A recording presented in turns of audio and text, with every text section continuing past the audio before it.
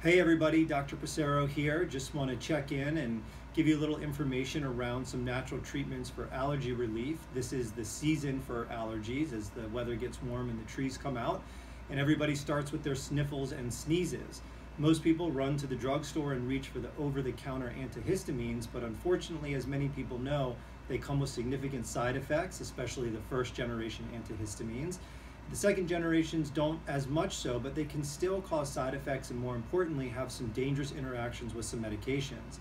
And most importantly of all, a lot of times they just don't do the job. People are taking antihistamines all day long and still suffering from their allergy symptoms, which can be absolute misery for allergy sufferers. So, in the latest blog I just wrote that's on the website, we outline some of the most important natural treatments for dealing with allergy symptoms as a brief overview and what you'll find out more if you read the blog, you have to start with your nutrition. Nutrition and dietary changes, even just short term during allergy season, can make a huge difference for allergy sufferers.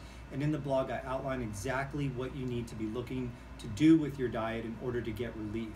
I talk about some very important herbs, specifically stinging nettles, this herb has been very well researched for the relief of allergy symptoms, and I in detail explain the research behind it, the type of stinging nettle preparation you need to get, and the dosage in which you have to take it to get relief. It's very effective. Bromelain and quercetin are two natural ingredients that many people have heard of, and when combined together, have a joint synergistic effect in helping to relieve allergies. In the blog, I outline the science behind they work, behind how they work, and the dosage in which you need to take them in order for it to be effective.